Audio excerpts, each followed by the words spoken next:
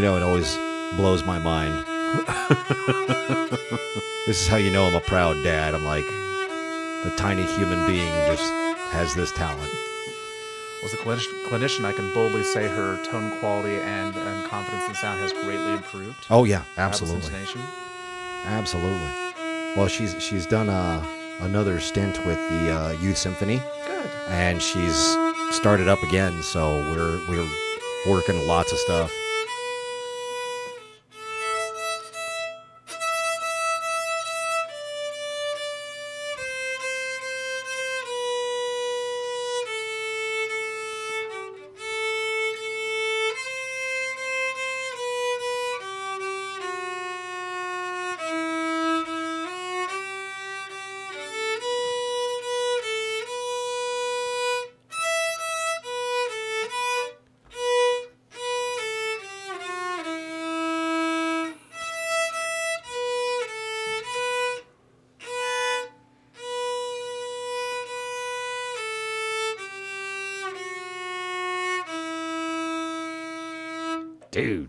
That's one of my favorite songs man that's uh, japanese lullaby um, this is the little one the tiny violinist but you know what we're actually uh, in studio today We are for episode 18 18. I can't believe we made it to 18. uh, yeah it's crazy i haven't fired you yet I know. but you had mentioned before keith that we were going to do some um, character highlights Yes, some of my favorite episodes. I love. See, it's just you know, a lot of people walk around the fair. Yes. and they see the musicians. No, they walk. We Oh, drudge. wait, okay. Uh, but they see the musicians, they see the actors, but they may not realize, ex- especially with the musicians, because that's you know stuff that I really like. Um, you know, being a musician myself, I understand how hard it is to get all that. You know. The, the practice time, you know, the dedication to your craft, Right. You know, and so that's why I thought, man, it would be good to get you know people on the show that um, you know practice that you know that the are craft musicians. yeah, no absolutely so today we've got uh, we've got the giggling fiddler We do. the one, the only, Only Arlen Arlen McNaughty McNaughton. Naughton. McNaughty. Mc, oh yes, he's McNaughty. McNaughty Naughton. That's that's behind the scenes. Shh. and one of his proteges. Uh, this will come up here in a little bit, but uh, this is the tiny violinist, the tiny human, if you will. Yes. Uh, this is my little one. Hello, little one.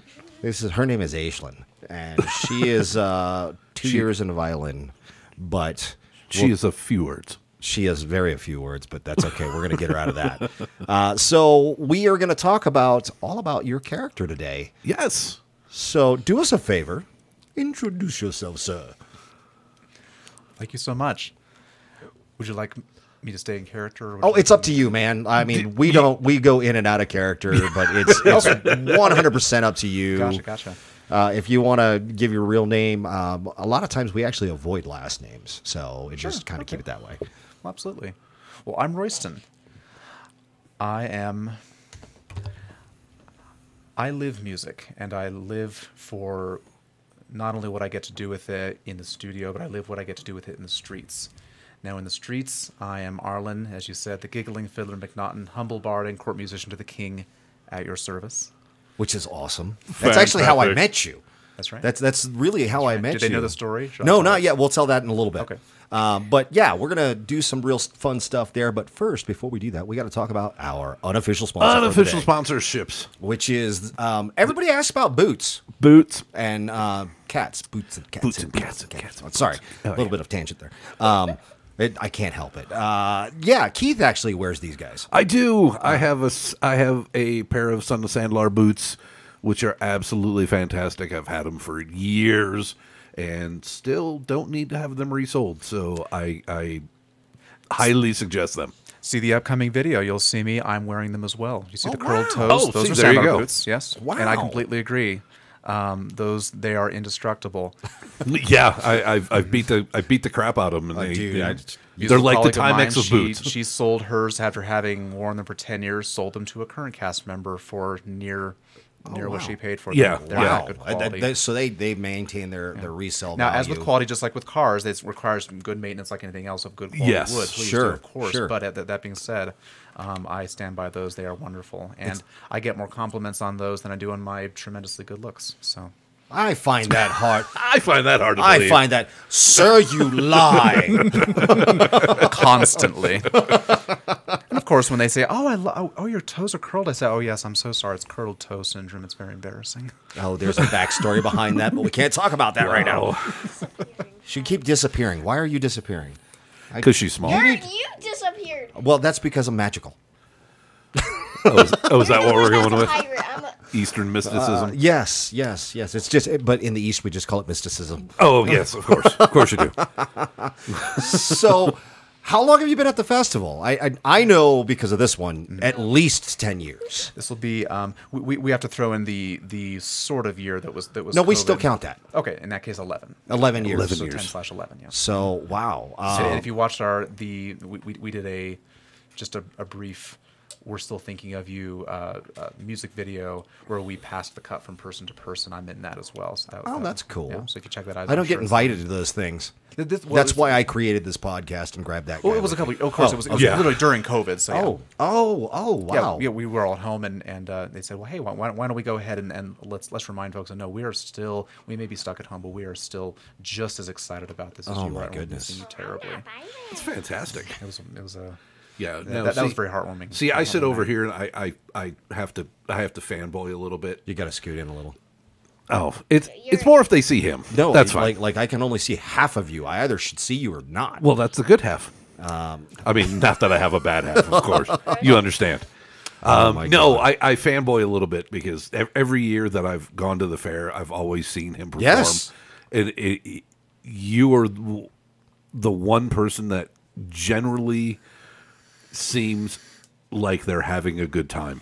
Like you I- I enjoy always- what you're doing. Most, not that the other musicians don't, but yours seems natural. It doesn't seem forced. Like, hey, thanks for doing. I mean, you're out there, you're just doing your thing, and I'm like, dude, he loves being here. This guy loves being here. Thank you. So it's I- really So- that's it's really funny that you say that because I too fanboyed when I got on cast, See, and it was I- I'm I'm like, dude, that's the guy. Like we're at rehearsals, one of the rehearsals that I was there, I was like, that's the guy. And I'm like, I gotta talk to him. I gotta talk to him. And I'm like, should I go talk to him? No, no, it'll look weird. No, should I go talk to him? No, it'll look weird. No, it'll look weird. And then I was like, I finally came up to him. I was like, look, dude, I got something to tell you. Um, you know, we've been coming ever since. Yeah, we missed two years. So we missed 2016 because we were in Maryland, um, the, right before I retired out of the army. Um, and then we missed COVID. Obviously, everybody missed that. But we've been going since this one was one years old. So Right. 2014 all the way to last year, um, we have gone all except for two years. Uh, and every single time I have found him. And when this one turned five, she was like, Where's my friend? Where's my friend? Where's my friend? And I'm like, Who are you talking about? And she's like, The man with the violin. And I'm like, Oh, let's go find him. and so we would go and, and find him. But it's, you're absolutely right. Um, you you have that and and this is the smarminess in me I, I have to do this because it's funny arlen mcnaughton has that look on his face when he is playing that he knows a joke and he's not telling yes, because you're part of the joke and that's the greatest thing in the world to me because it's like it, it is it is so beautiful to see somebody that is in love with their music in love with what they do and laughing the entire time because that is beautiful to me and it's hilarious when i can get you to giggle i don't know why it just makes me it's like yay Keith spotted number eight. He's gone. yeah keith keith is um he's a goblin that's okay. I'm still here. It's more important that we have Spot it now. Arlen on the screen than me. yeah the goblin king calls keith back every now and then Yes. Um, so, so I guess my my first question would be, what brought you to the fair? a dear friend of mine from Colorado State University. She noticed noticed that I was e- even being it, and this was kind of the running joke between CSU and UNC. And as de- dedicated as I was and still am to symphonic music, she she noticed that I like her was was still always the fiddler, at Oh. various universities. Again, I, I and I could sit in symphony, string quartet, and to a jam session with complete fluidity, and I loved that. In fact, I, I didn't like doing just one. Right. I like doing everything. That's this one. And she said, you know, geez, you should, you should check out uh, CRF. Um, and I said, why not? Why not? Um, it was kind of a perfect time because I ended up taking just a, a year off from school to uh, kind of uh, figure out a couple things and transition schools to UNC, um, largely because I like their jazz department. But I went ahead and checked out um, CRF, and uh, just just between how I hit the timing, they, their auditions were done and their rehearsals were done. But I just dropped uh, Jennifer, who's the manager at the time, uh, entertainment director at the time. Um, I dropped Jen a line and said, "Hey, you know, so I'm I'm in the area and I'm interested, and I'd love to kind of see what this is about. I have been before." and um, with, with, with co- co- completely oblivious to the the incredible thing that this would become in my life. I had no idea. Sure. I thought it, I thought at the time I thought at most, oh, you know, wouldn't this this, this could be fun, and um, I think it's just like with any starting anything new, I was I was genuinely terrified, but uh, but then I find that hard to believe. Oh, I do too. Well, You were I such was a bebe in those days. okay, I'll give you Yeah, that. Well, that's that's the thing, and we and we still we still um, call them that. I was a shiny. You, yeah, yeah. My armor was was beautiful and shiny and polished. Okay. Um, you know, you, you you- you're not really in your zone until you're dinged and bashed and banged up. Uh, that's that's when you've earned your stripes and it's wonderful. So, um, and I show up with just a just a thinking of a, a vague idea of kind of what this would go about. No idea how. I not really a whole lot of acting experience to speak of, but I thought just do the thing that I do. So they said they said just go hop up on that stage and just do your thing. Nice. That was pretty much all there was to it. And I thought, great. And I, and I thought uh, all I thought was what when I when I watch you know a fiddler who I really like you know on stage, on YouTube, etc. You know what do I like about them? And of course, the first thing to mind was fast fiery, flashy energy, and they're having just as much fun. So that's exactly what I did. Hopped up there, and not knowing and not having any idea what their specific requirements or expectations or hopes were, I just went out and flew through. I can still vividly recall which sets I used, um, and and I still and still use them to say they're just that good. It was actually Cape Breton, Cape Breton fiddling specifically, and I hopped up and they said, in essence, "We love you. You're good to go." that's awesome. that's crazy though, It man. was, Like it was it was the most miscellaneous of, of things, but it was it was it was just fun. like Keith and I talk about our auditions as street cast members, uh, but we have zero idea on musicians' auditions. Yeah, I can't speak to anyone else's because mine mine was very specific. because Right. but yeah, they they were. In fact, I believe everyone. You know what? Everyone was was already in in character, so Okay. they, they must have been dress rehearsal weekend. Okay. or, or in the vicinity. Okay. There were definitely yeah, and then I remember. since then, you you've kind of have you sat in on the auditions or anything like that? Have you been part of yet. those? No, not, Not yet. yet. Okay, uh, but if if you know, like say uh, the little one here wanted to try to audition, what would you recommend?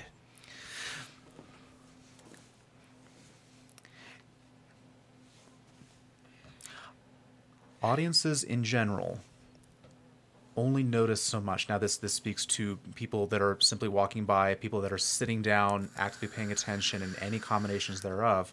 Um, but the the first and foremost thing that that will take you beyond uh, whatever base talent and, and base skill that you've already acquired is is your energy level and your excitement. Uh, that speaks in volumes. Sure. I think a lot of people shy away from the performing arts in general because they worry, and I'm going to give you a classical example of this, um, or rather romantic era. Um, so many people f- feel that, oh, I, I can't go in and, and go and present myself, present my finished product because it's not perfect yet. It's not there yet. And they and, and frankly, at 99% of that is just they're held back by their own very human but very, very realistic worry and natural anxiety. And so that's something I actually work with a lot of my students on is saying um, it, it doesn't that that that finished product, A, that concept doesn't exist. That's that, that's Right. a completely fantastic Absolutely right. idea. Um, I, I often say this too. Um, let, let's say let's say you did reach perfection. That'd be boring. That would be a it's unobtainable, doesn't exist, and b if it actually did, that would be very uninteresting, frankly. It's kind of like uh, what we talk about. Keith and I talk about Yeah. the and then factor. Like Yeah. when you're building a character, there's the and then. What comes next? Yeah. And then what? Right. You know, uh, any any great piece. I, I mean, I, I would agree with you if you asked if you asked Mozart or Bach or Beethoven or any of the the, the greats, hey, do you realize how perfect this song is? They would probably tear it apart and go, no, it's not. Of course, we're always our own worst critic. In fact, this- Absolutely. This, is the example that I was referencing. Um, Johannes Brahms didn't publish his first symphony until he was 40. Hey, so I'm still, I got time, man. I got time. Yep, keep that in No, mind. you- Sibelius you was not d- much you don't. different. I don't. Um, No, and don't. it, it terrified the hell out of him. He was he, and the documentation will support this. He was terrified of that first publication.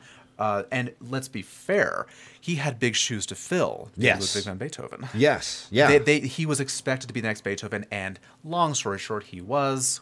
Go, go him. That Right, wonderful. but- but at the same first publication point, took that him forever. fear. It took him his whole life. Yeah. Up to that point, he finally did. Um, and and then what's what's rather hilarious, uh, Sibelius, by the way, was not a whole lot different. Similarly, very growing pains, and very it took him forever to finally finally publish and premiere that first symphony. I'm sure he was biting his nails the whole time. But both of them, and Brahms in particular, then then then. Okay, there, and it was greatly received. It was a monumental success, and still loved to this day.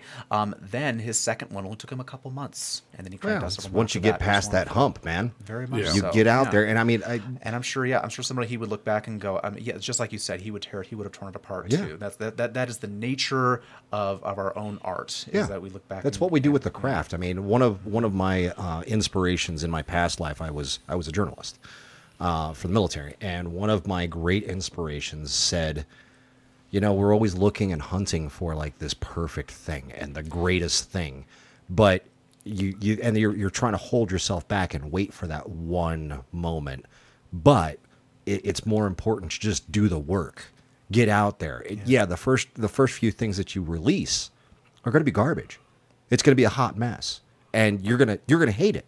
But just release it, because as you go, and then you will get better and better and better, and you'll start to look back at all your stuff and go, okay, if I just tweak this a little bit, if I just do this a little bit, I think uh, one thing that really jumps to my mind along those lines, and uh, Asian, you're going to want to remember this too. Um, you may not be aware of it during the process, but your audience, in whatever capacity that is, again, like I mentioned, is it sit down? Is it mom and dad? Is it you know, etc. Right. People who are watching your steps, um, even at a very high level, they like seeing the work happen. They like seeing Yes. the human elements. Absolutely. It's, uh, it's so easy, especially with mom and dad, and I, um, being close proximity to my parents. I'm I'm still not all that comfortable practicing around my parents, but I remember that when I do, they're they're enjoying it more than I might realize. But what what I think of is we all love watching. Um, when, when you watch, for example, especially like '90s era sitcoms, you know, Friends, and you know the shows of that time. Sure. Um, let's face it, as wonderful as those various shows are, and then the special moments, the tender moments, is it isn't the most fun thing to enjoy the blooper reel? absolutely. yeah. Why is that? Especially the live episodes, and Absolutely. when the characters are trying so hard not to break character. It brings Why do the we love that so much? We love the human element. It's the human element. so hard Yes. not to laugh. Because exactly, yeah, we see their growth, and it means they're really there. Sure. a character is wonderful, but when you when when when you see the human underneath, that makes it feel good. In addition to being entertaining. So when we look at like uh, going back to the auditions, you know, music auditions are going to be coming up here in April, um, sometime. We don't know when. Uh, that announcement will hit ColoradoRenaissance.com or on their Facebook page. Um, but if if I were to do something, is there a number of songs that I should prepare, a, a set list that I should have in mind? Well, mo- ty- typically with auditions, and this this everything from auditioning to join a band to join the Renaissance Festival Okay. for symphony orchestra, um, short and sweet. Short and sweet. Yeah, usually. Um, now, of course, well, I, I, I, I should say at the surface, short and sweet, because they um, whoever's on the on the listening end is going to want to get it, the, the gist of who you are, and uh, brevity is the soul of wit. Okay. Um, the uh, uh, on the on the surface level, Right. Symphony auditions are no different. Yeah. Uh, there's there's a reason when you go in, for example, a symphony audition. Th- They don't want to hear the. Well, they'll- they'll ask for um, a fast orchestral excerpt, a slow orchestral ex- excerpt, your various scales, and then of course a, an excerpt of a, a solo concerto or a, or a performance piece. They don't want to hear the whole thing. They don't. A, Right. they don't have time to. Right. They just Yeah, want an a excerpt No, from we- it, just exactly, your yeah, favorite We just need to hear. Yeah. So you, you want you want to put up your best, but um, yeah. When when why um, why wow your audience over ten minutes when you can wow them in in thirty seconds? True. Yeah. But then. Uh, um, and of course, as, as we mentioned so regularly, keep, uh, you got to keep them wanting more. You, have, you you can't you can't conclude and let them be. That's all I have. Yeah, All right, you we're want them to done. go- you want them to be sitting there going, but love it, love, and then go, hmm, what's what else? What else? You want you want them intrigued get them to leave them wanting more, as Yes, they say. Exactly. And then dur- during, so for an audition, and we we never want to like naysay anyone like don't don't do this, but i- if you if someone wanted to audition, what instruments in in your experience over the last eleven years have worked the best, and what instruments have been like eh, maybe that wasn't a good idea. There's never been an instrument that I have seen that hasn't had things to contribute and add. Oh, nice. There have been unusual ones. I, I, I that's that's certainly fair to say. And I only say unusual now, uh, but unusual is still is not a negative thing. Franklin, no, that's is a wonderful thing. The the only ones that, that and I say. It, I like them very much. I frankly, I would love to see them back, but I haven't seen them. Bef- I hadn't seen anything like that. It actually was my first year. It was two tuba players. That that Okay. was yeah yeah we haven't seen that, haven't yeah. seen that since Tuba Um, players. I know. was a I'm trying to picture it. too, yeah. Like I liked them a lot. They, they they were fun and they they had an advantage. A they had a beautiful sound. They had a nice they had a nice character. They're loud. set. Yeah, they carry. Loud. They Yeah, carry. You, you I want mean, to sum it up in one word: big, loud. Yeah. that goes a long way. Yeah. A they were wonderful musicians. They were fun. We loved having them. Um, and uh, it I was would pay it- it those was guys unique. to follow Keith around, going bum bum bum bum bum Bum, bum bum, bum bum, bum. See, Just I didn't want to make that long. joke, but maybe I'm just politically correct. I'm not a very politically correct person, and I just think it'd be hilarious. I mean, he would probably pay them to do something stupid back to me or get Oh, somebody totally. else. That's the only. Um, of course, we have to remember the piano. So sadly, didn't exist in Elizabethan England. Right. I, I wish we could have pianists. Uh, a not practical, heavy. You can about imagine Right. why. But Yeah. let's face it, the piano is the easiest instrument for scoring someone in that very Sure. same sense, and that's part of that's a big part of what I do. Um, it's probably one of my single most favorite things to to. It's it's teasing any patron and, and or, or and cast etc. But it's teasing any given person in a way that's going to make them feel good about themselves and going to make them laugh. Yeah. that makes me feel really good. Yeah, no, it's it, the it- best you know, part of my day. currently I'm I'm in sales, and but even when I was on the radio, it was you know leave them leave them laughing. You know, Yeah. make them laugh, and you've won them over. Oh yeah, that's the, a- greatest a, thing a in the world. compliment in the form of a of a joke or an insult is gold. Oh, yeah. Out all the time, and um, and I, I also look out for people who who may not get a whole lot of compliments, and and and there's they get they get this look in their eye when they've been complimented in a, in a cute and, and perhaps slightly silly way, but they you can tell they they feel the compliment and they feel good about themselves and helping someone feel good, good about themselves and laughing at the same time is is possibly one of the single best sensations that that, a, that an entertainer can feel Let's let's dive into that because uh, I've got y- examples. well, you, you yeah you have some. I mean, and away we go. you have you have left uh, you know uh, at least on my family you have left a really huge mark um, because and, and this is the beauty of it. Like like we were talking about earlier fanboying boying out a little bit you know um, we've gone for years and she wanted to see you. She learned how to play the violin because of you.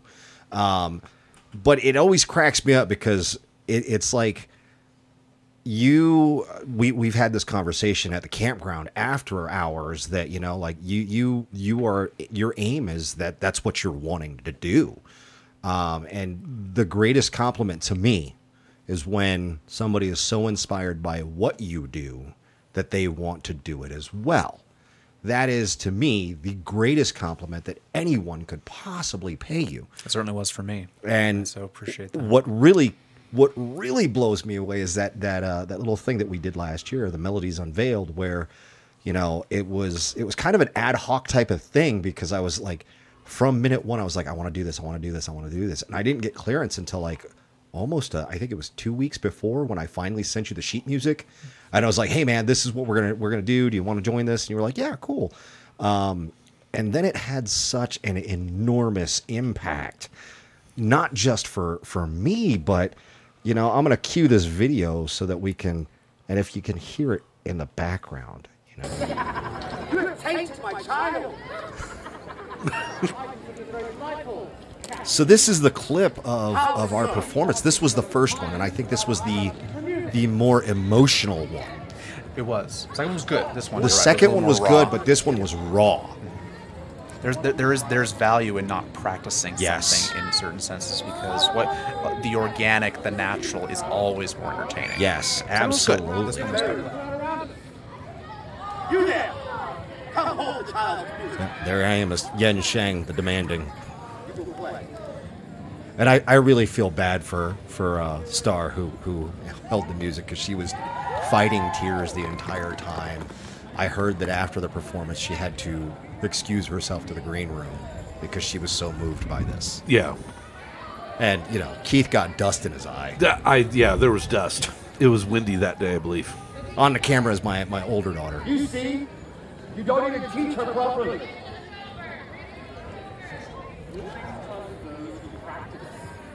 The the banter, the improv that we had was just I, I thought it was spot on. It's fun. And you can hear people in the background like, oh wow, this is neat.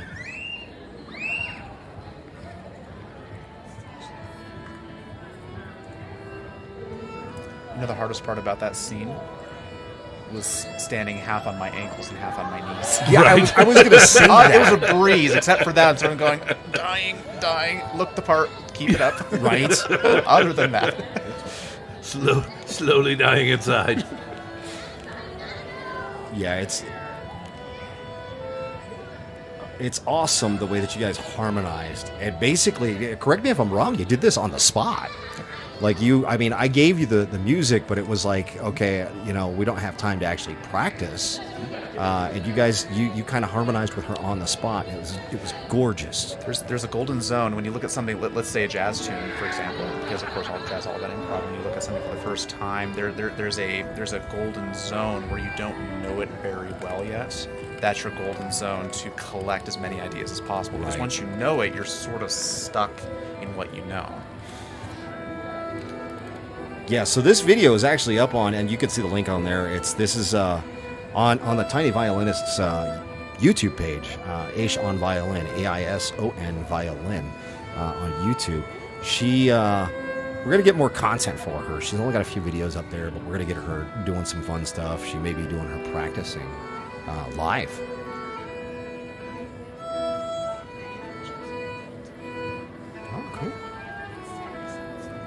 Oh, And our biggest goal is is to make every single patron is to take them into and make them actually think even for a few moments that they're actually they're actually in Right. Elizabethan England. And um, I, I'm- I'm very confident that we do that on a regular basis with lots of people. Absolutely. But th- there is there is quite the magic to when I actually feel that myself, and when I can when I can earn that moment. Yeah. At least once a day, it feels really good because it's. You, it's classic, isn't it? You, you, it takes you out of the, the, the life's worries, and it takes you out of the sometimes the impending doom that a lot of life feels like these days, and it, it helps you realize adults. We don't get enough pretending in our lives. We don't get enough fantasy and imagination. That's why I'm such a big. I don't play myself uh, yet. um, my boyfriend is a big advocate, um, but uh, that's why I'm such a big fan of Dungeons and Dragons because it's getting adults pretending again. Well, imagination is the key to innovation. You know, you have to create, and and what we do on the streets th- through improv, through music, is we're being creative and we're we're breaking out. And the great thing is, is that you know, I, I this one here, um, we've had this conversation multiple times where it's like, you know. Uh, my friends make fun of me because I like this hobby, because I like this. And I'm like, just look at them, smile, and say, for God's sakes, my dad pretends that he's a pirate. Yeah. I mean, that's that's that's the coolest thing. So here's the piece that that that I think this is really what hit me. Um, this hit me the hardest because it, it, it's and it always brings it always makes my eyes water when I think about this. But we're talking about leaving that impact, and this this is so funny to me because during this speech, this exchange that we we were talking, um, I, I tell the story about how, you know, nine years ago she was a wee babe in a stroller, and for thirty minutes you played for her, and all I could give you was ten bucks, and dude, like that ten bucks to you, probably I, I don't know, but to me that was all that I had that I could give, and I was like, I, I'm sorry, and I, I gave it, and you smiled and continued to play, and I was like, cool, at least he's not a dick.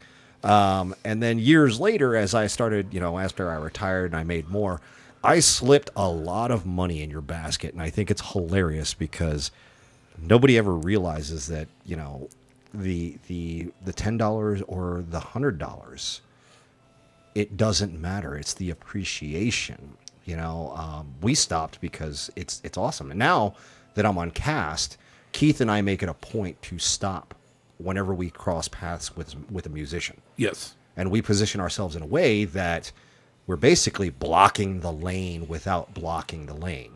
We are We sure appreciate that. pushing attention to you guys because that's important. You know that that's amazing. Getting someone's attention, holding it, that I wouldn't say that's an easy skill. To that, that that doesn't come naturally to a lot of people. Well, no, and es- especially not for you guys because you're uh, well for you. I mean, you're playing. You can't go, hey, hey, come over here, Dude, And, and then- yet, and yet, you're, you're right. Yeah, and and yet you invent ways to. Yes. Yeah, because You have all to- you have to be creative. Schooling in music that I got between CSU and UNC and, and all sorts of amazing people that I work with. Um, I can't. I. I can't speak of us any specific moment that spoke to um, attention grabbing. Um, there's a th- there's a certain violinist on YouTube. I'm, I'm going to go ahead and not say her name, but um, uh, she definitely has a reputation for being extremely uh, showy and flamboyant all these things, and that's and that's terrific. Um, um, in, in, in the classical realm and, and in some of the realms, uh, w- not a lot of us are terribly thrilled with how someone who is perhaps not all that fine of a musician but but gets away but built has built such an enormous fan base based on just on Showmanship. showmanship. I know exactly what you're talking about. gimmicks. Again, Yeah. I'd rather not say her name, but uh, but um, I I- I do owe um, I do owe her at the same time um, a A nod. reason- a, a nod. um, Yeah. in in how many people she's inspired, and I Sure. can't tell you the number of folks who have come to me and said, "Oh, I oh I, I love, I want to be like her," and all I can say is, then let's get to work. I my my response to to something like that because I we there are so many because of of that performer that have emerged um, that I, it's awesome to me because before that you really didn't hear about it and and you know it's it's it, the the instrument existed the performances existed but the performances have increased immensely in the public eye Yeah. and I think that it's it's awesome because as we said before, our whole goal is to inspire the youth to get outside of the house, to get away from and and to unplug, to learn something that they'll be able to use later on.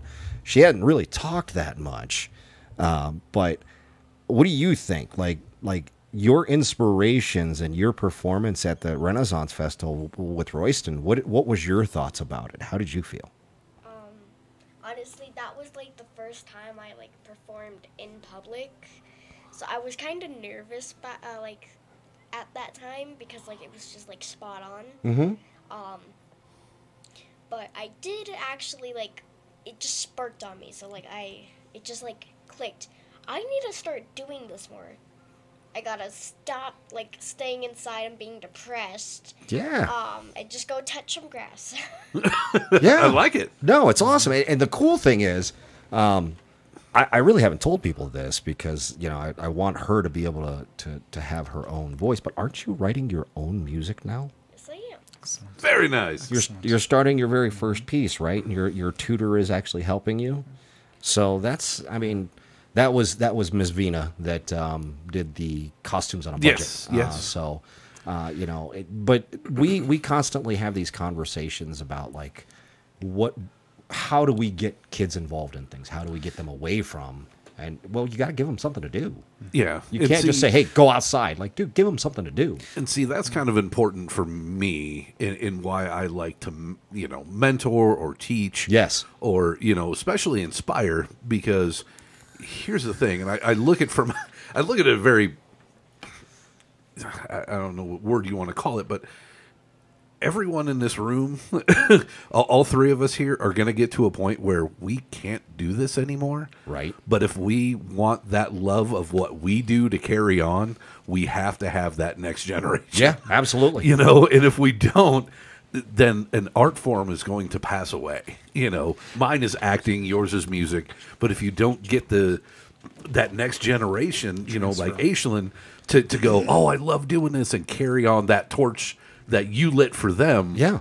it goes away. You know- and, and that would be sad. You know what's really difficult though is being a dad that doesn't play an instrument. I sing.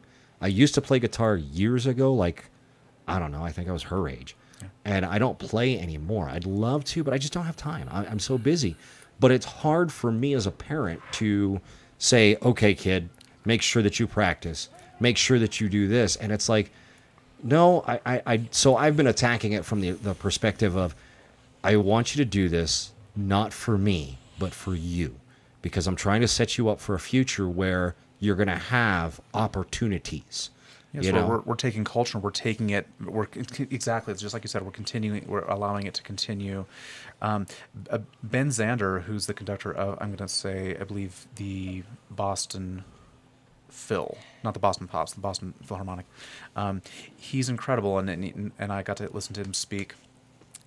He he was talking about just this translating specifically classical music, but frankly just music in general in terms of the culture to, to the next generation. He used the classic, um, the classic allegory of the two salesmen who, like perhaps back in the, the teens the twenties, go back to go, to go to Africa to see if there's an opportunity for selling shoes, and one telegrams this is the twenties. One telegrams back and says, "Situation hopeless. They don't wear shoes." The other one telegrams back and says, "Wonderful sales opportunity. They don't have any shoes yet." it is perspective. it It is, is. perspective, very much. and and and so many he furthers in in, in that um in there's this there's this very disheartening trend a sort of school of thought that um, oh and orchestras are dying and we worry that we worry about this you know this mu- this wonderful thing that is music in particular and that it's it's it's it's changing and it's dying but the rest of us just go you ain't seen nothing yet No, absolutely right. I mean, uh, the Book of Barnabas actually has a great quote uh, as far as uh, music is concerned. And this one, I'm to do it, dude. You're gonna do it. I'm going to do it. Great. I'm gonna I'm gonna quote. Uh, this is uh, from the East, uh, a great man known as Confucius. If one should desire to know whether a kingdom is well governed, if its morals are good or bad, the quality of its music will furnish the answer. It is that's a very strong statement because without music, you really have nothing. It's boring. It's life is. I mean, dude, imagine being on a ship and not being able to whistle because it's bad luck, but there's no musicians. Yeah. Then what? this is rum there is rum. There's rum. That's true. There's rum. so so do you, do you know who john williams is he's a composer she's not. She's not um, gotten to the okay the music histories They, yet. they don't teach us about. no, she's she's I was not just, there I was just yet. curious. I can guarantee you've heard his music before. Um, if you have seen Star Wars, Oh yes. Yeah. Uh, yeah mm-hmm. I've I didn't it. want to give away the answer. I'm like, I know this one. I know Well, this one. just to name a few. um, now, John Williams, he actually recently turned. I believe he just turned ninety-three. 90. 93 ish. Yes, uh, yeah. old. I remember when he. Yep, he sure is. And um, and and so he's been composing for the last eighty or so years. That would make him ten when he start, first started composing. That's said. Uh-huh. So and and uh, I heard him interviewed. Uh, well, actually, when he turned ninety, but I'm sure he's reiterated this statement. Um, he said even in his nineties, he still composes every single day. And remember, not every not every one is going to be the Star Wars theme or Jurassic Park theme, but um, and I want you to keep this in mind too, uh, in that your brain, just like any other muscle in your body, is a muscle, and if you don't use it, you'll lose it. So you say you're composing now, never stop. I know keep some good going. examples of those those type of people. yeah. Did Indiana did- Jones. Yeah. Like, didn't he do Jaws? Yep. Did yeah. Oh, I, I, Sure did. I, Lost, self- Lost in Space. hold on. She figured out. I, I self-taught myself. Yeah. Jazz. I figured it out just by myself. Excellent. which you know that was a skill that that actually Royston had told you was was something very important to learn. That's right. Yes. Did, did you remember this? Um, when when your dad asked me, Hoist the colors. yeah, hoist the colors. Um, as often is the case, it's it, it, it, it falls into when, when when I get a request, which I love so much. But when I get a request, it falls into the category of don't know, never heard of. Okay, you know, I'm not I'm not I don't know everything, or maybe I've heard of, don't know it very well, or perhaps I know it very well and can play it. But the, the majority of the time, it's in that middle category of, ooh, I certainly know it, but I've never actually played it before.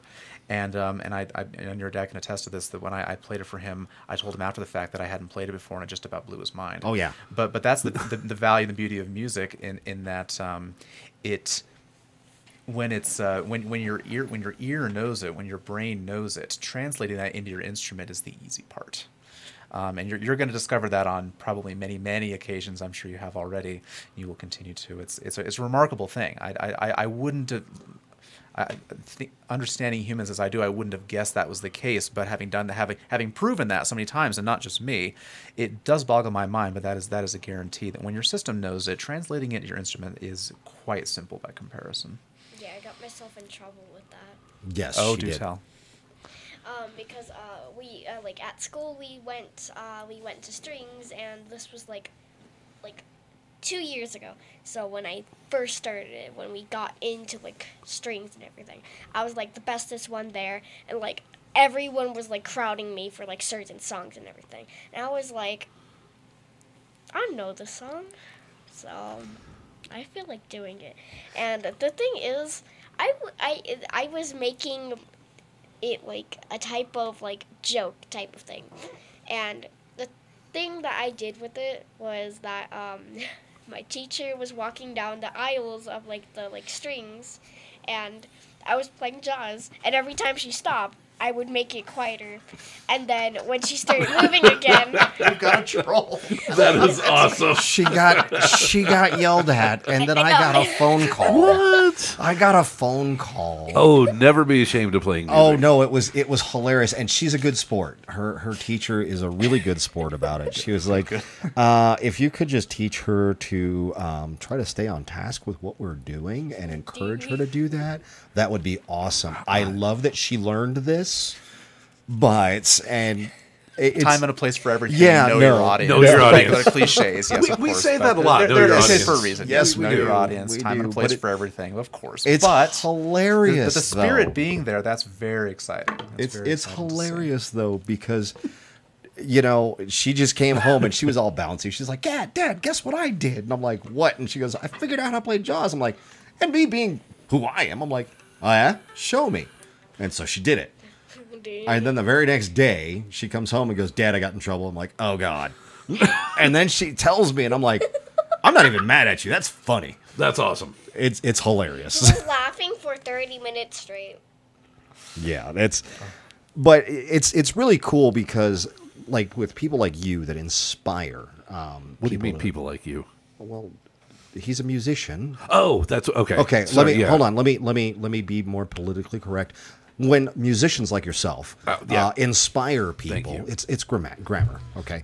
Uh, inspire people to pick up a les- uh, a- an instrument or something like that. It's it's really important uh, if you want to get over the hump. I mean, yeah, there's YouTube Academy.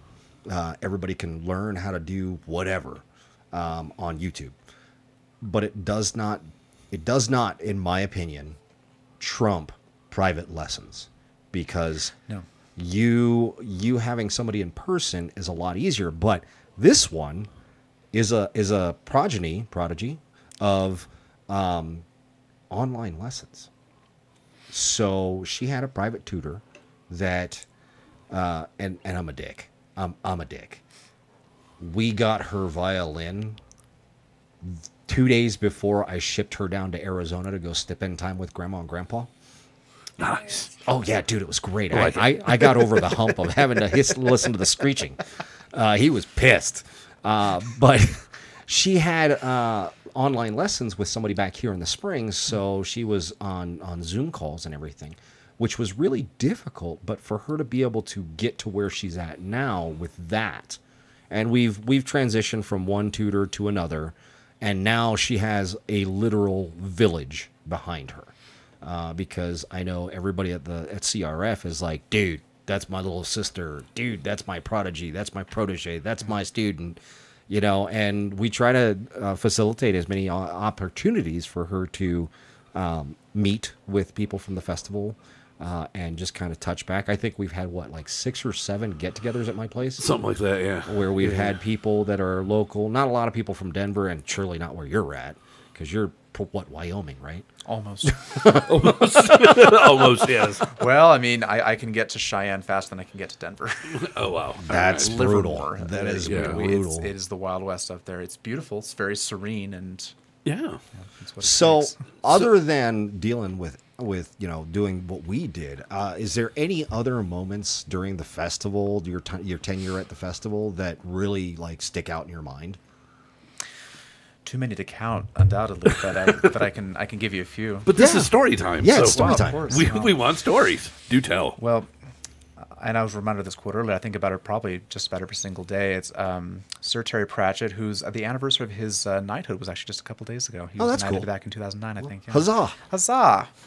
Um, Sir Terry of, of of his many beautiful insights about, about theater and life and, and, and, and the important things in life in general. The one that very much stands out to me is that uh, people will probably not remember what you said, um, what you looked like outside of maybe what color you were wearing, things like that, but they will remember what you made them feel. and Yes. how you made them feel Yes. and that's how I, I believe that's a big facet of how I try to live my life. Um, and, and, and how this reflects to me again everything from your interactions one that I, I, I would say I come across this several times a year and it's, it's the, the best part of a day and oftentimes the best part of a weekend. Um, one one example um, a, a gal comes up to me last last season and said um, would you she said oh I, I we, we see you every year. We love hearing you. Thank you of course. And I was I, I love speaking to her and she said I would love if you would play the Ashokan Farewell by Jay Ungar, I said certainly I would I would be I would be happy to, because playing something that someone wants, a that just feels good by itself, but I so I I, I played it, I, I took my time, every single moment was was very in the moment, and uh, we were both, we were feeling the same emotions at the same time. It was very very very wonderful, and and uh, and then then I finished, and then she said um she said while she was thanking me, she said, "My father had um, asked that of you maybe a couple years ago, and it's something we like to play together. And he's he's no longer here. Oh. oh. But when you when you played that, he- he was. That's see. That's awesome. That's a moment, man. Yeah. That is that is a beautiful moment. for Thanks for moment. sharing that, man. Yeah, dude, you're gonna take that like with you forever. Yes. Like Yeah, forever. you don't forget moments like that. No, Yeah, I I, I mean, you Keith and I have. impacted people. Yeah, I, I, similar reactions when I when I play at memorial services and funerals, things like that. I oftentimes people will say, they said I knew I was going to have a hard time getting through this. There's no no not getting around that. And they said, but what you were able to provide helped it make it less miserable for me. you know, you, you mentioned funerary services and memorials and stuff like that. Uh, last year, the very last weekend, uh, we we at the gate sing sang "Parting Glass," um, and I lost it, dude. Like this one was standing next to me, and she's like, "Why is Daddy crying?" I mean, like, dude, my my my eyes were just pouring. Um, because in my head, I I envision I envisioned that one as a funerary song, and I was keyed in on your playing, and it was ju- it just moved me so much that I was I was in tears and I could not stop, and I'm like I'm on I'm I'm on stage and I can't stop, and I'm like okay, let me stop and try to breathe, and I just couldn't do it, and then I couldn't get it back together, and I was just like what what am I doing, and I was so raw from the experience of performing with Keith and performing with uh, people like like yourself uh, and and Amanda and just being involved in that whole thing. And it was so awesome because I realized yeah you're right. 100% you're right. If we can make people feel one thing when we walk away just And while something. we feel the same thing, something feel the same yeah, thing at the and same share time. that emotion with them It's the utmost of what humanity is. Yes, yes. To to bare your soul to someone else and say, "I recognize you as a human being." That to me is glorious. It's beautiful.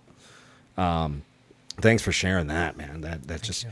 Where else do you perform other than um, you know, the the Colorado Renaissance Festival? I- Anything coming up? Well, um, one of the most regular places that you would you would see me in in uh, performance context would be at the various. Uh, it's the FOTD Friends of Traditional Dance. Please check out their website fotd.org for upcoming dances. The the the broad we, we do we do multiple types of, of, of group and community dancing, but one of the most common ones that I that I'm booked for somewhat regularly are called contra dances. So if you're not familiar with contra dancing, it's very similar to square dancing, uh, Oh. dos dos, attachés, uh, allemandes, things like that. That's pretty much the same same cores. Square dances are just specifically literally in squares, but it's, Yeah. it's the same thing. You typically you choose a primary partner, and then you typically dance with just about everyone in the room. That's the goal. It's it's wonderful. It's a kind of I think of it as square Speed dancing a dating. little more in a sense. Sometimes it can be. Yeah, sometimes it can be. Yep. I need to say, let me know when that is. I got to take Keith. Yes. oh, please do, please do. It is fun. It's fun. Um, uh, our our, uh, our most veteran. Uh, silver-haired folks up uh, in the contra dances insist that's why they are that limber in their 80s and 90s. Definitely need to take It's Keith. Got fun. it. Going. It's fun. It's energetic, and uh, uh, it's it's it's all levels, always welcome. That's awesome. Um, yeah, the so, so typical contra dance night will be like seven to ten, something along those lines. There's usually either a, um, a family dance beforehand for for small folks, um, or people that are new to the dances. There's there's always a lesson beforehand if people that are unfamiliar with the, the dance steps. So that's all gone through, um, and then every and then usually we'll we'll have about twelve or thirteen sometimes full full contra dances and one run of a fiddle tune a 32 bar fiddle tune is one run of the dance Okay. so um so typically i'll choose maybe three it's usually three tunes and play them maybe five five six something along those lines. Um uh, and the, the tempo is, is consistent important and then the dance caller will um they'll they'll usually walk they'll, they usually call the steps as they're happening. Once they've gone through it a few times they'll just they'll just be quiet and let people continue their dancing. So um and then a dance a contra dance band can take just about any form you can possibly think of. The most most regular go-to's are fiddle piano guitar fiddle piano clarinet um, accordion fiddle things like that. I, love it. I love any and all groups that i've gotten to play with. Um, so and then um, so up in fort collins we have the we dance in the basement of the Mason Hall there, and that's a great dance space. If you're familiar with the Avalon Ballroom in Boulder, um, that's also a regular go-to there as well. I would say that's one of the, the rare spots that we hold. They're called zesty dances. It's still a contra dance, and as all, everyone is welcome, but they are geared more towards intermediate to advanced dancers. okay. Yeah, so that's called a zesty. Other than that, it's everyone is always welcome to any any level of dance, um, provided you can keep up. And you Um, did mention, you did mention earlier that you It's- it's invigorating. You are still part of symphonies and, and stuff like that. Yes, right. Yes. So, um, and in and, and small performances, the um, outs, outside of outside of contra dancing and um, perhaps occasionally perhaps sitting in with Fort Collins Symphony or pre- or, or like uh, the uh, um, Larimer County's Health and Wellness Orchestra, Longmont Symphony, uh, groups like that. Um, the uh, outs, outside of those groups, um, the the majority of performing I do is with my own students for their own recitals. Oh, that's awesome. Yeah, in fact, we actually we've got a couple of those coming up there as well because it's important to have our studio group lessons and group recitals, which we do, and those are always very fun. Um, and then additionally, um, uh, and then uh, solo and individual recital is also very important. And then more recently, and this this is a, this is a group we formed just recently, but we're, we're already having some fun and some successes, and, and it's pre- it's a uh, we're open to uh, to just about any event, of course, but primarily weddings, and that is the Northern Fellows uh, String Ensemble. So it's it's all literally fellows, and that was that was the joke because we're all from UNC. So um, so we formed a group there for we, we want the the theme of the group to be, of course, you know all your classics in terms of standard wedding music and exciting um, all sorts of bonusy things as well. But the big feature is for uh, easily recon high, you know wonderful arrangements, but easily recognizable things. So the very first thing that we played was the introduction to the Super Mario Brothers. and At a wedding? yeah. In fact, actually, we've got one coming up. Um, That's uh, funny. Got, got one coming up there, uh, That and these folks want some. Ze- and oh, and we have uh, Legend of Zelda. The list goes on and on and Right. on. Legend of Zelda, Howl's Moving Castle, um, th- uh, Disney themes, all sorts of stuff. Because when it comes down to it, if I, and if finding the music that's the easy part, then I get to sit up in my room and geek out while I'm arranging things from Sure. a piano score. It's very entertaining. Then we get to play it through and we go, well, how fun is that? Yeah. Then we'll have a pianist come and join us, and we're always open to having having guests and things like that. So, any and all genres, but things that and I and I learned that idea from Fair, and that the I, I can play through a million fiddle tunes that are that I love and are very very fun and invigorating and dancey. But uh, they're- let's face it, those- they're very esoteric. Not Right. not just any person's gonna go, oh, that's Silver Spear by Lewis Carroll. No, no one's gonna know that. But But they're going to know what um, they feel when they hear it. right. mhm. Yeah. Yep, but but they will recognize. Um, but what will again, what will get the attention? You you mentioned, you know, like I can't say, "Hey, you, pay attention." Yeah. You know, but um, da da da da da dee. bum. Yeah, there you go. The head turners. Hey. Well, that's kinda- yeah. I know that yeah. one. you know, kind of like at, at the opening gate sing, um, you know, you've got uh, the the Crimson Pirates, and Yeah. they do They their a their wonderful job with mermaid version. Yes. But at the very end of it, they they transition into Under the Sea, Yeah. And it always like if you if you don't if you haven't seen it before, pay attention because it like all the people in the crowd just kind of go like, wait, what what are they? Are they really doing? yeah. And then they It- start, and everybody's like, And I don't know. I, I don't know if you ever noticed they throw in the the Gilligan's Island. Uh, they throw a Oh, Gilligan's right. Island thing in there too. I, I caught it. It took That me a couple weeks to several fig- generations. Yeah, That's it- clever. It, it took That's me. It took me a couple weeks to get. I went. Wait, that's Gilligan's Island. they but but They they, just also- sneak it. They just sneak it right in there. It's super You cool. You can't forget music, can you? Yeah, it's, No. it's No, amazing. no. You physically can't. It's it's funny because in my my the way that I remember things, there's two things that, that there's two methods. One, where was I when this happened? Two, you know, oh, I remember this song playing in the background, or you know, some kind of of, of musical thing that's there. And and again, I don't really play a musical instrument. You know, th- this is my musical instrument. My singing is my musical instrument, which this last year for me has been revelations because it's like um, I can actually stop crowds with my my singing. It, it I we we did it at Santa Fe. It was the craziest. You need to make sure that you come with us this year. Yes. Um, but it was it was crazy because it was an ad hoc performance. Uh, two of them actually. Uh, the first one we were walking around with a, a book that I had written out uh, some songs in. Keith and I managed to uh, meet up by the mermaids, and we found Amanda, and we sang uh, Mingulay Bay Mingley. Yeah. uh, and uh, the Mingulay boat song. And then um, later, Keith had left me because he's Rufus the Bone Fairy and I'm still Captain Yan Sheng. so I'm running around with the Pirates of Neverland, and I was trying to introduce um, Amanda to these pirates who are new cast members. They had never performed on the cast before. So I was trying to introduce them. Well, they weren't listening. So they were talking amongst themselves, and Amanda made the offhanded comment of, you know, well, Captain, it looks like nobody's listening to you. I said, no, no, no, I know how to get their attention. So I bellowed at the top of my lungs, hoist the colors! And it echoed. They responded. Then it echoed down the, the laneway, and it came all the way back. And I was like, dude, that was kind of neat. And so Amanda goes, I guess we have to sing. And I said, I guess we do. So we started singing again. And people started gathering around. And I was like, dude, this is. I, I looked around. I was like, this is freaking cool. And afterwards, it, it it ended on a comedic bit because our, our mermaids down there are sirens. So you know, she's like uh, one of the ladies in the uh, one of the mermaids in the, the tank said, "Well, that was a beautiful song. Thank you for singing. Now, which one of you is going to be my lunch?" Um, being the true captain that I am, I threw somebody in the way and I said, "This guy," and took off running. but it, it's it's awesome because you you look at like how how well music can inspire and how well music can add to the ambiance and even change the tune of a venue because of what you're doing.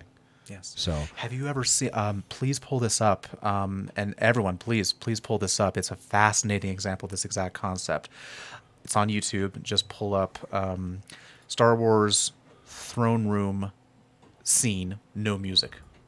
okay, let me let They, me. they walk up and get their medals and you know all that all that stuff. oh, I think I've seen this before. it's it's hilarious to start with, but it's truly spooky. It's truly Star fascinating. Uh, the throne room scene, no music. It, it, it will help you understand. Speaking of John Williams, it'll it'll help you understand the monumental impact that music can have on, on frankly, an otherwise pretty boring scene. Yeah. Yeah. It turns a s- yeah. It, it, We're gonna we're gonna do something really weird here, guys. You're gonna have to please. pardon me as I. uh That's what we do here at the show. Well, this is what happens. We do know? weird things. No, that's not it. That's No. That's the music. It, it, will it'll be the actual. Uh, There it is, right that there. one, yeah. little preamble for you though. okay. I'm gonna get in here. This is. It's not gonna let me do it right now. Hold on. There it is. There it is.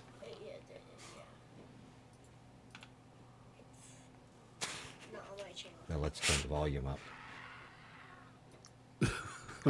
well, there, there is no volume because there's nothing going on. I mean, there, there, there are sound effects. Yeah.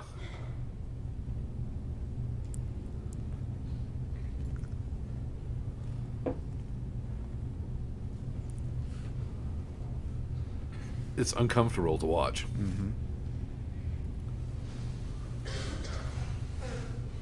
There's mm-hmm. somebody coughing in the background.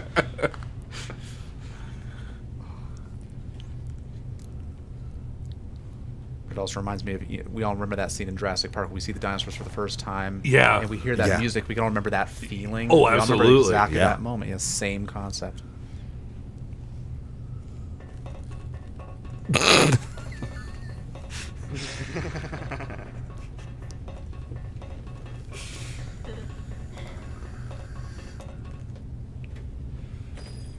Didn't didn't they do this with? Uh, I, I I know I've seen this concept. With,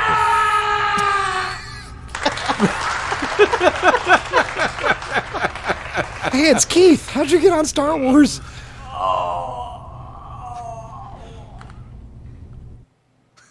So yeah, that's I, that, that is that's actually unnerving. I've seen that. I mean, it- same- Fascinating, really- yeah, it really is. It makes quite the impressive difference. I've seen that same concept with um, with horror movies, where they strip the score out from underneath the horror movies. Yeah. Where you look at it, and it's like imagine like uh, what's an iconic one that Shining.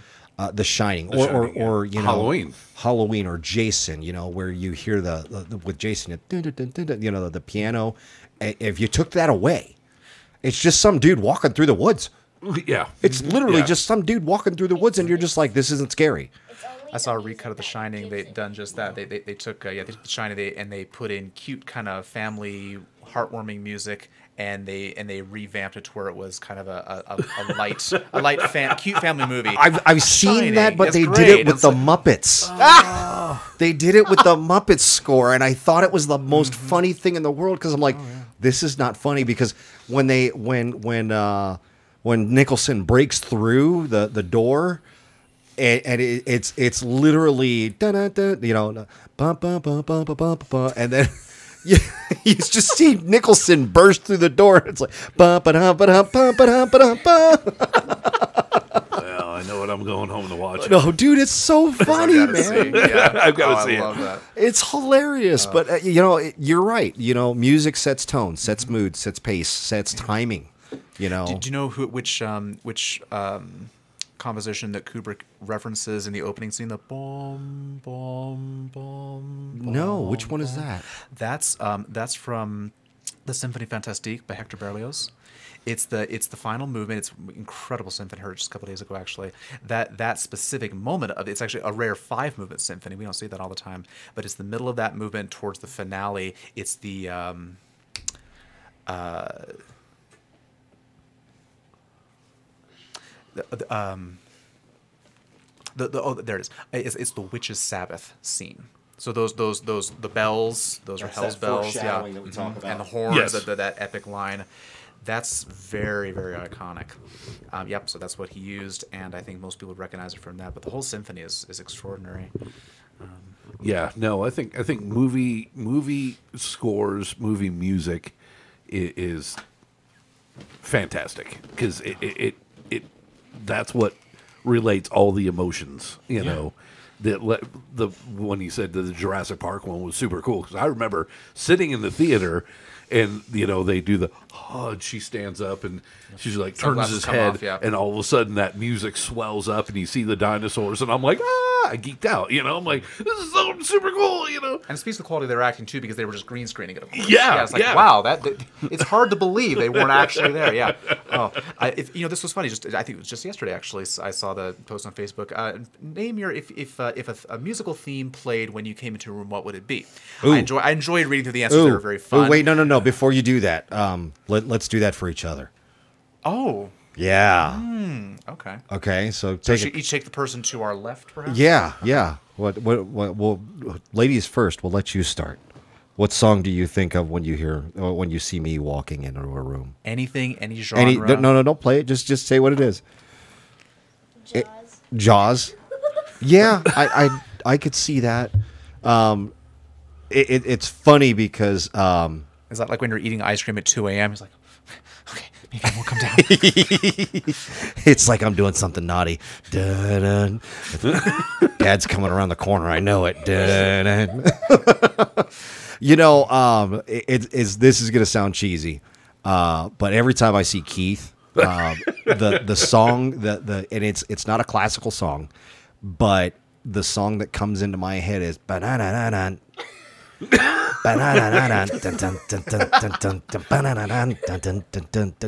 On the day I was born, little bit as well. Got around. I George like. Thorogood, man. That's dude, that's what it. comes out. But, but it's your voice, and that's what it, it. You know what's really messed up is when you're actually in cadence.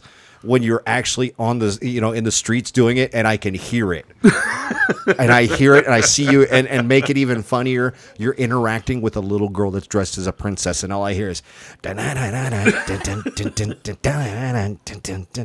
It's all about the children. when you come to town, you bring your kids around. nice.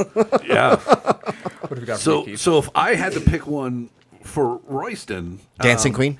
It well, that's just that is so just On point, look that okay. That's profiling and that's wrong. and it's on Okay, point. and it's totally true. but no, no, I, I, I hear, I hear, and, and I gotta hope I say the name right, but it's it's Canon and D. okay. You, you know the one, yeah. enough, sure. Ooh, I, I just ooh. The I just- Bell. Yes, yeah, Yeah, I, I just yeah. because I, can see, I can literally see you playing it. You know, I, mean, rehear- so- I rehearsed that last night, actually. Did you? Janice. See- Yeah, there you go. Oh, boom, sure. nailed it. the if if we were to say a classic, eh, like for my my personal opinion with with uh, Royston, take no offense, the Sugar Plum Fairy, Oh, no, that's the I- I the appreciate Sugar that. Plum Fairy because that. it, it's How it's does that one go? What's uh, Is that- Oh Oh, yes. Okay, okay, okay. But see, and, and and for me, it's a logical progression because it, it's it's a very whimsical song. It's a very intense song when you get into the the, the quick shifts. So that's that's to me that's that's what I see when I you know when I hear So you, so you hear. Glockenspiel when you think of me. Yes. that's, that's right. I, I appreciate that. Yes, Oh, yeah. yes. I love the Glockenspiel. it's, oh, it's, mean- it's one of your yeah. It's it, it it's it sits in my same cate- head uh, category as as the theremin. Okay, Yeah, just because it's well, it's metal. I don't know why. It just that's what comes to mind. Well, I mean, thank you. I Rob, Rob and. I have said it. I don't know how many times, probably a million.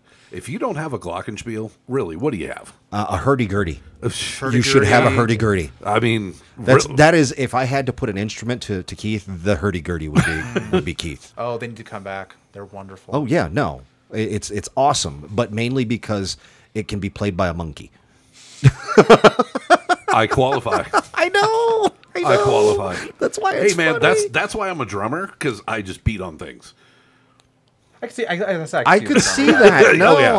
I, I mean, I, I've seen your videos, but it, it's usually it's you're doing Renaissance covers, you know, and, and, and it's it, it's not it's one drum. It's it's Oh, not, yeah. it's not a a set. Oh, oh yeah. Catch, Which- catch me on a drum kit? Dude, it, it, it, in my head, you're like animal. Oh, for sure. So, what what do you hear when you? I've got it. I'm blue.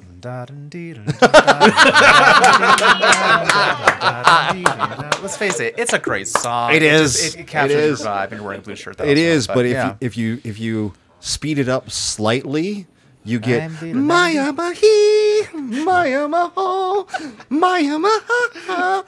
yes, yes.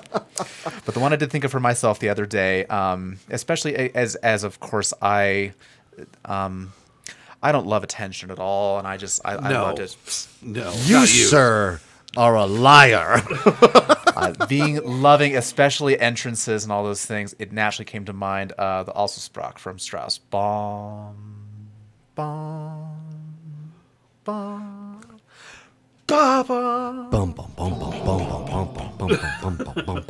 yeah, you know, I mean, it's it's kind of funny because it if, if ever you think like on scoring yourself, like everybody always goes with the if you had a, a, a theme song for like the rest of your life, like I know, and this is the funniest one that I can think of, Harrison Ford. Uh, he absolutely hates that John Williams score because everywhere he goes, Yeah. they play it. And he's he what was the awards ceremony that he went to? He was like, I absolutely hate that fucking song. yeah.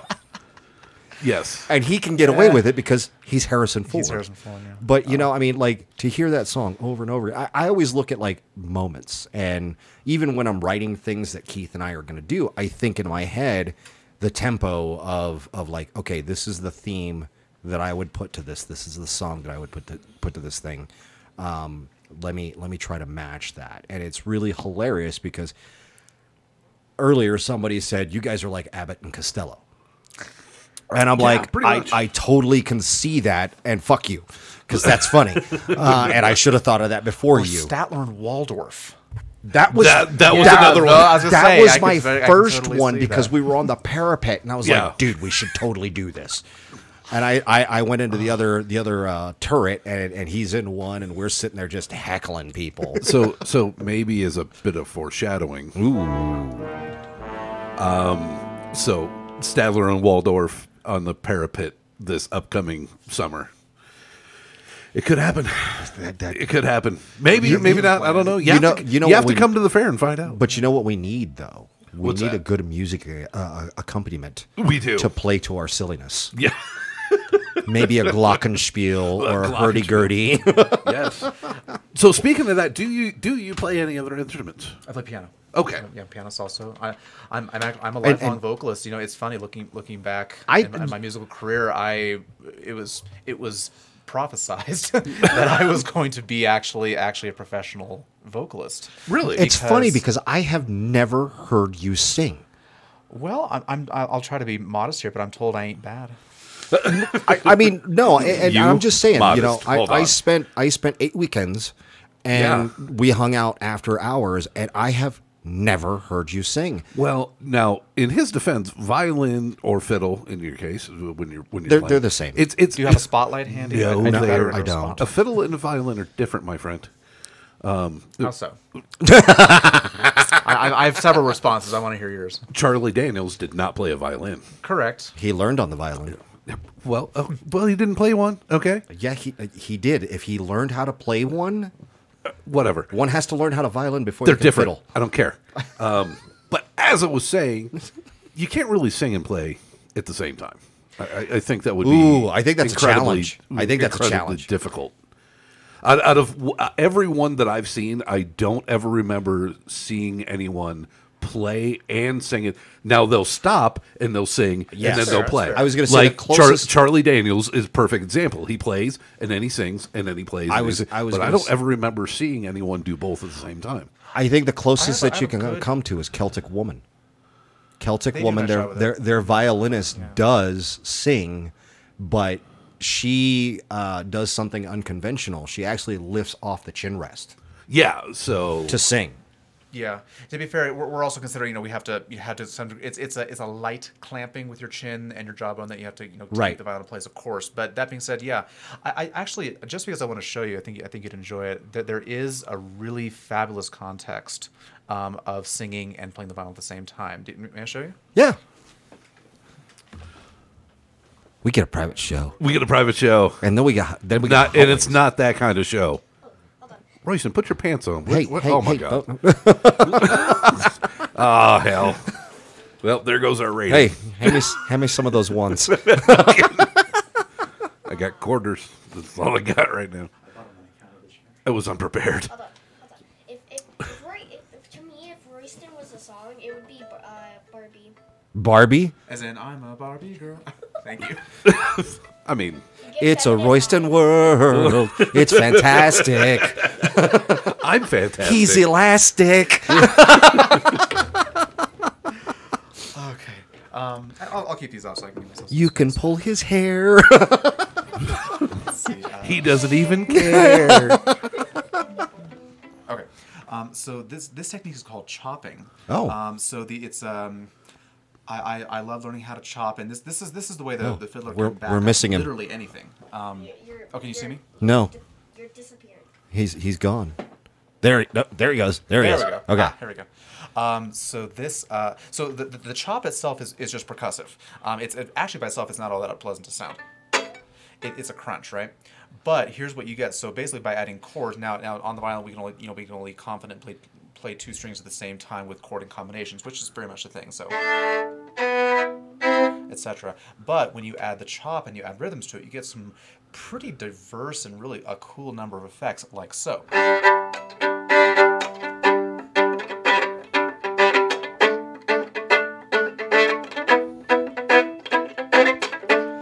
That can- sounds so familiar. It does. You heard me. You heard me do that at fair. Yeah. That's So- probably yeah, why then. yeah. Because I'm like, wait, I know that song. And, uh, yeah, I think. And, and well, that well, you've, you've heard the progression. So as a result, um, let it go, let it go, can't hold it back anymore. Let it go,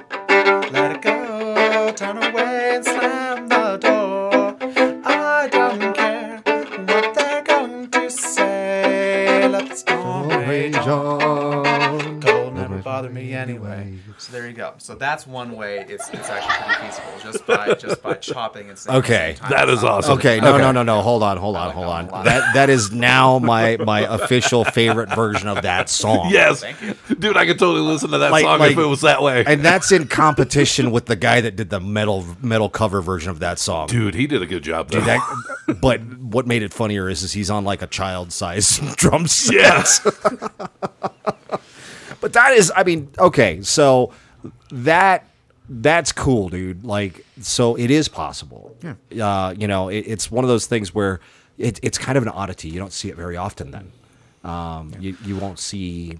I I mean, there's the performer that we we had initially uh, referenced without saying a name, uh, who dances uh, while they're they're they're moving, but um, or while they're playing. So somebody that sings would be an oddity in that that same vein. One genre I do see it in. Uh, it's actually that that you asked if to play other instruments. I haven't yet, but I it, it is one thing I'd really like to pick up once I can hopefully maybe fund it, and that is a nyckelharpa. Uh, you familiar with nickel? It's well, let's see. I'm, g- generally, you see them a lot in Swedish groups, so I don't know if it's Swedish specifically, but you see them in those areas. And when I, it's, it's a beautiful instrument. It's uh, think, think um, auto harp. Well, actually, it's kind of like um, it, it's a bowed instrument. It sits um, it sits kind of al- almost in the same way that a guitar would. Okay. Um, and then you, you bow it from down below. Oh, I know what you're talking like about. Like a Spaya, kind of the same. Yeah. yeah, and, and, and it has um, it's, it's they're lovely. I really really like the nyckelharpa, um, The and one- then nyckelharpa. The one that I want to learn, and and it's it's from what I understand, it is an intense uh, learning experience. Is the erhu, which is the Chinese violin.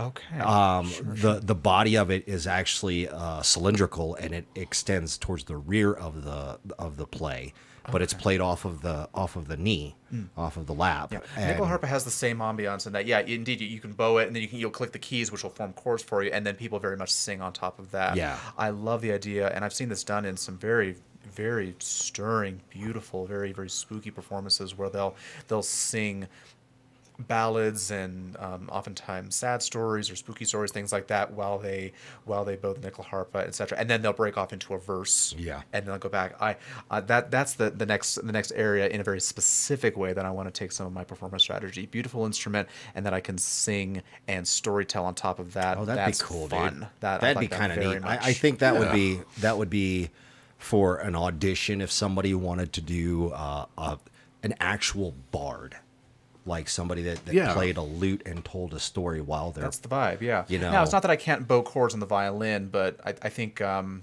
it's a little easier. It, it is, yeah. Yeah. And not to mention, you're, you're not. Uh, I mean, for one thing, I, I believe it just it, generally speaking, yeah, yeah, on the knee or it just sits on hangs on a Right. strap. It's it's physically more comfortable. Right. The violin, um, it can do so much, but it's not exactly the most comfortable setup. right. Wow, that looks incredible. I, I just neat? pulled. I just pulled it up over here. real It looks cool. incredibly complicated.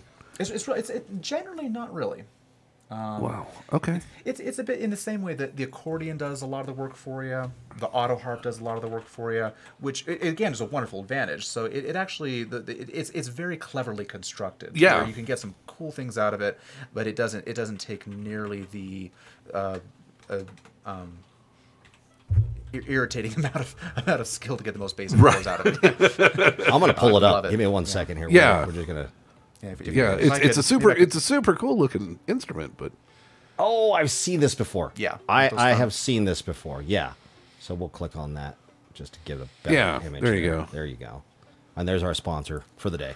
Uh, but yeah, buy some boots and a nyckelharpa. that I, I I see what you're saying. Like that would be kind of fun um, to to kind of learn how to do.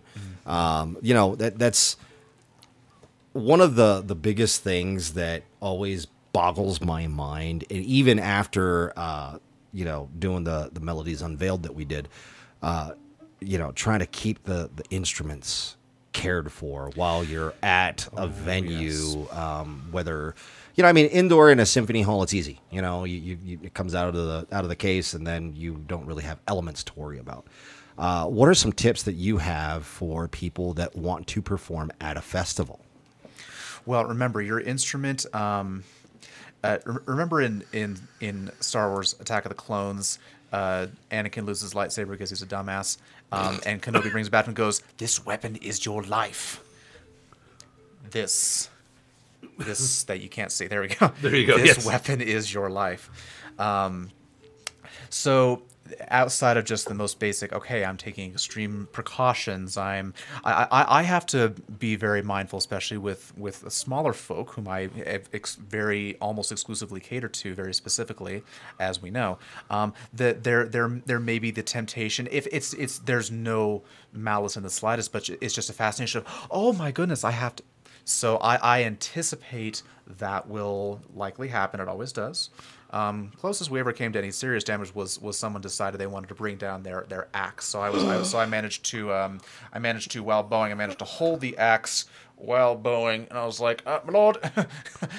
so that was If rare. anybody Uh, has that, was that pretty picture. rare. Yeah, but I'm oh, If that was a anybody bit of- has that, was- picture, was do me a favor moment. and send that to renaissancerascals at gmail.com because that needs to be a t-shirt. Oh, for sure. Especially after the tagline that we created last last year where it's it's pronounced violins, not, Not violence. violence.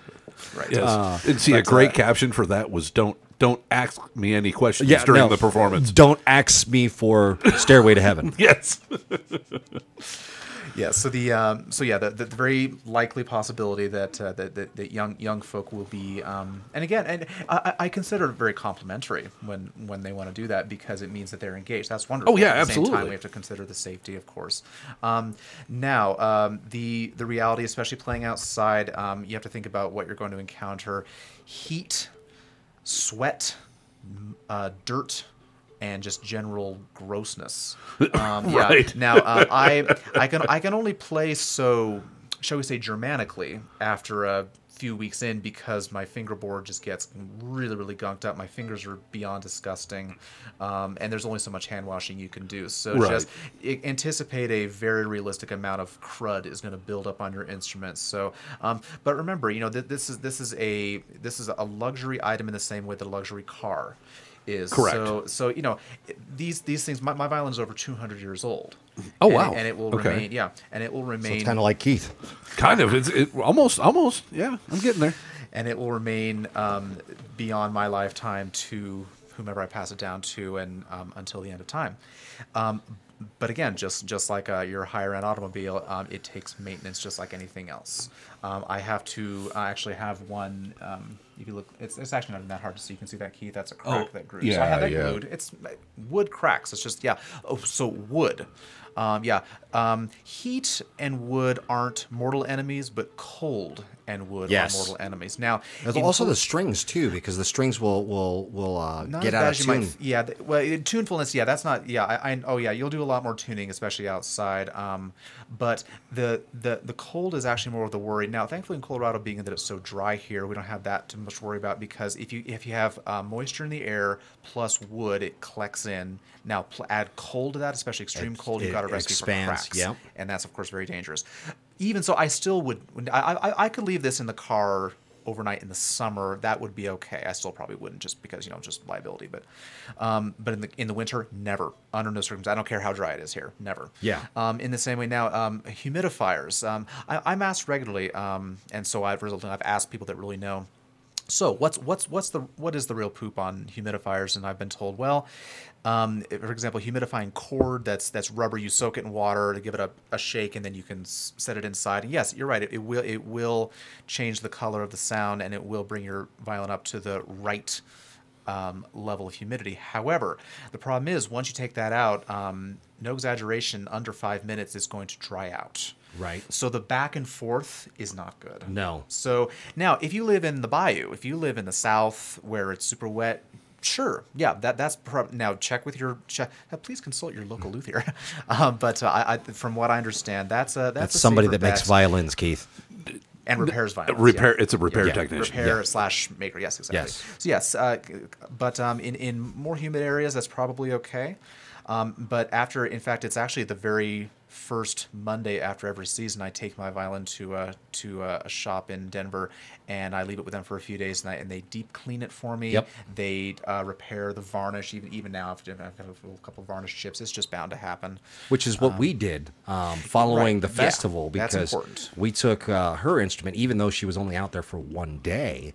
Uh, we still took it in at, at, as your your advice because you're like, dude, there's there's dust here. There's Mm-hmm. it's gonna collect inside of there. There's really not much that you can do about it. And and let's be frank, your own your own body grossness Yeah. is going to build up on that one as well. So Yeah. um, so yeah, so the yeah wood um, when you know varnished and treated wood, it will last in extraordinary amounts of time with with the proper care, Yep. keeping it away in cool, dry places, those types of things.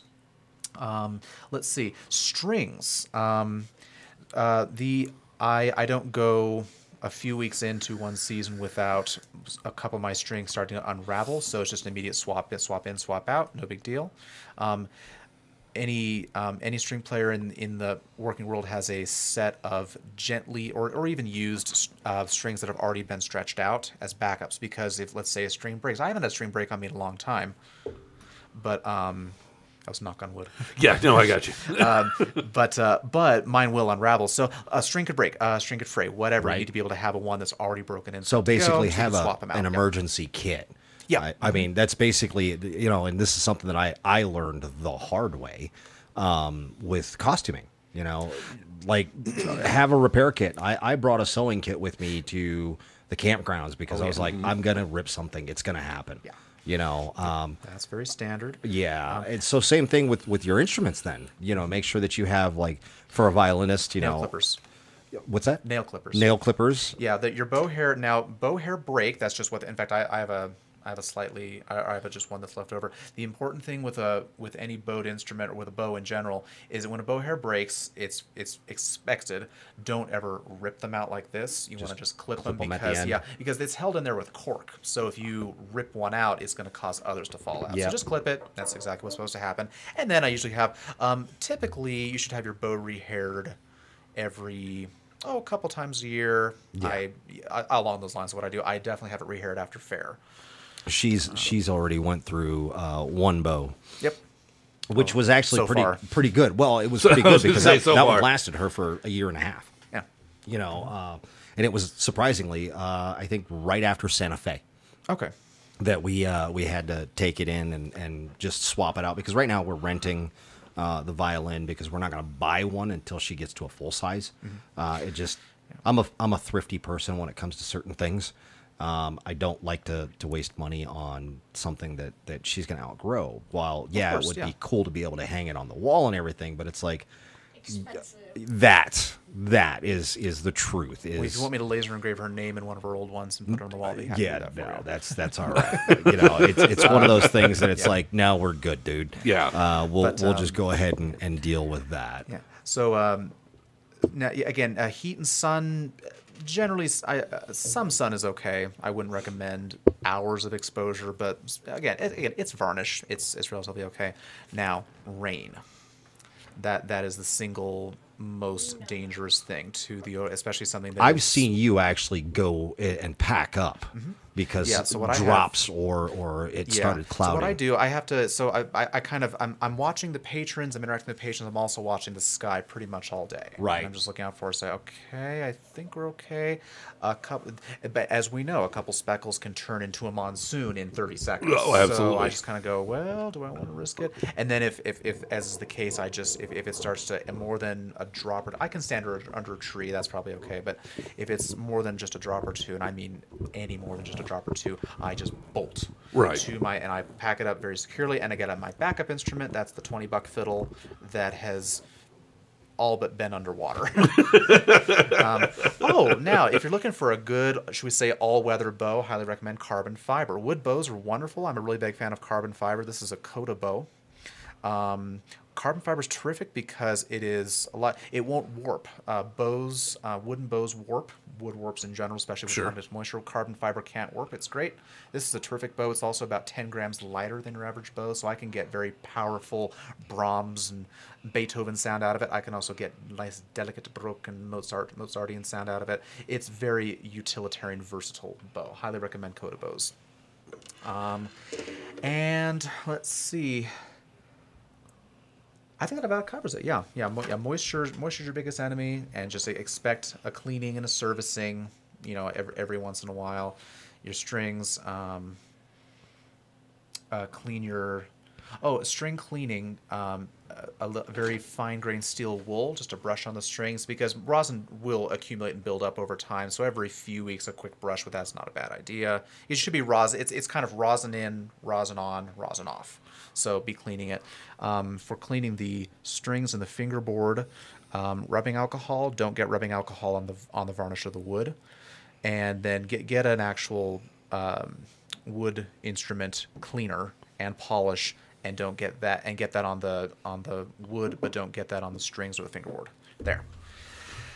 That's a lot of That's a information. lot. That's a lot to know. So uh, back it up, rec- re- rewind all that fun stuff if you need to.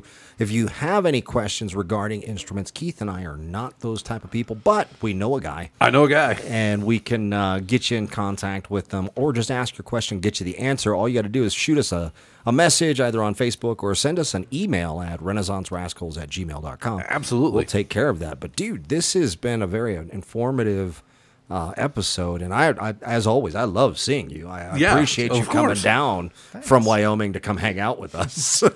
Well, Colorado still just b- b- border. Yeah, well, you know, Livermore. From the borderlands. it's more impressive when I say that you traveled so far. I mean, Well, and, and for people who haven't heard of Livermore, which who could blame me? It's population fifty.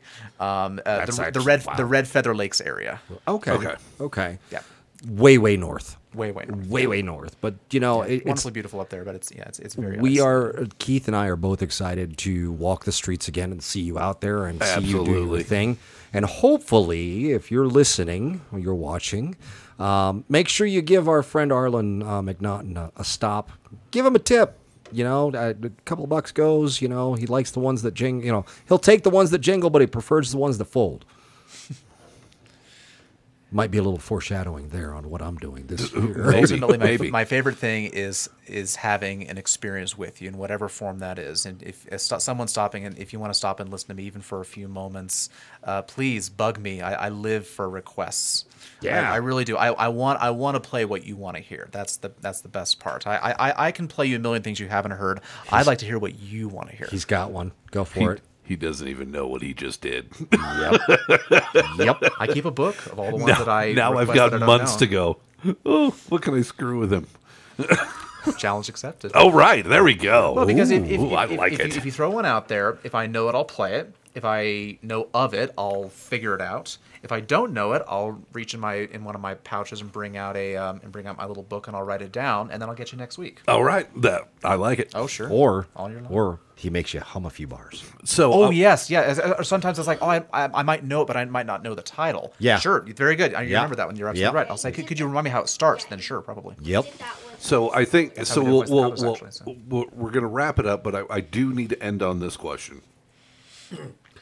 If one was to be wooing a baroness Oh my god. or a potential baroness, what song would one play? Hmm.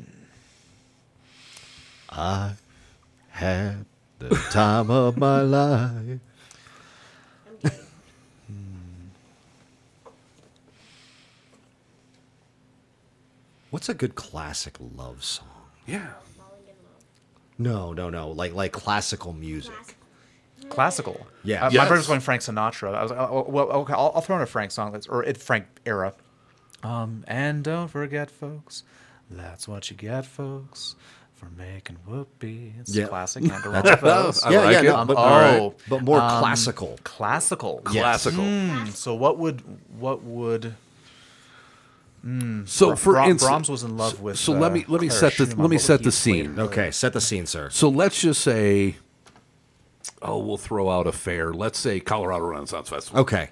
So we're at the Colorado Renaissance yeah, Festival. and let's say there's an English baron from from Umbracinia. From Umbracinia. Yeah. yeah. And he's got a a, a, sidekick. A sidekick, Okay. uh, you know, partner who happens to be Asian. Yeah, yeah, yeah, yeah. Big hat, And- and really big, hat. He's hat. got to have a big yeah. hat. I mean, just hypothetically, if this happens, and he sees someone that he wants to woo, A tasty strumpet, yeah, if you would. and there just happens to be a giggling fiddler there, and I said, I need your help wooing this said strumpet.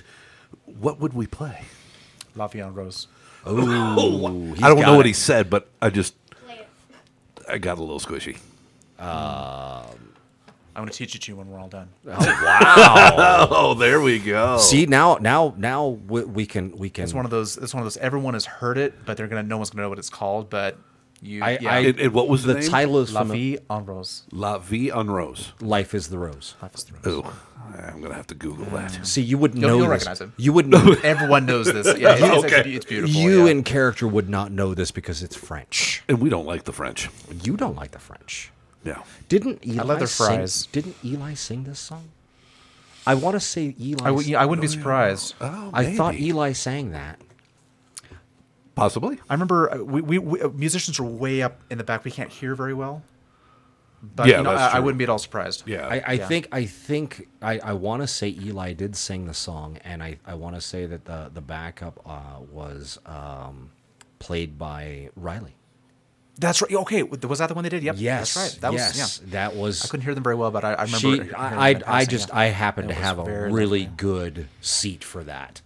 So, but yeah, Royston, thanks for coming down, man. Absolutely. for having It us. is- it is our pleasure. And now we're gonna break bread here in a well, chicken wings in a second. Uh, I didn't make any bread, and I, I'm not gonna bother with the fries. yeah, that's right. We need meat. Yes, because I, I unfortunately don't have any Scotch eggs. Yeah, well, that's all right. Which, by the way, I'll, I'll go ahead and extend the invitation to you. On uh, the 17th of March, we're going to be hosting uh, a soiree, if you will, a small get together here, where we will have some Scotch eggs. Uh, it is that is St. Patty's Day, uh, but we're also celebrating. My birthday. Okay. And I would love to be there. Thank we're going to have yes. Mr. Mr. Uh, Alto, the Al- Alto the Magnificent. Magnificent. Uh, Prince Otto. Uh, he's going to come in and teach her how to, and her friends how to fence. yes. And so we're going to be in costume, and, And, it's we're, and be we're doing it in costume. it's going to So, be great because my neighbors are going to look at me like, "What the hell's going on?" and that's what we do. If you're not who your neighbors talk about, who are you? Exactly. Oh no, my neighbors talk like about it. me. I know they do. They just don't do it to my face. if they did, I'd be like, "Yeah, that was me." I'd hate to be the person my neighbors didn't didn't think things about me true Right. or not. Oh yeah, no, whatever. That's a boring life. But again, thanks for coming out. we uh, also me. thank the audience for for tuning in uh, Yeah. to learn about uh, our favorite gig- giggling fiddler, the one and the only Arlen McNaughten. Mc, McNaughty Naughton. McNaughty. Thanks again. Um, it- we got some more uh, highlight reels coming up where we are going to talk to Character spotlights. character spotlights. Uh, the next one that we're going to be doing is with uh, Flim Flam. yes. We're going to talk about how he flim flammed his way to the Renaissance Festival. Yes, absolutely. And hopefully, in the future, we'll have the hexiest of them all. oh yeah. But that's a little bit of foreshadowing for you. Yes, of course. Well, that'll work. That'll too. work too. Thank you for joining. Thank you, Once- friends. That's going to end it for today. Thanks again, friends. My name is Rob. I'm Keith. And we are the Renaissance Rascals, We joined are. today by the tiny violinist and Arlen McNaughten.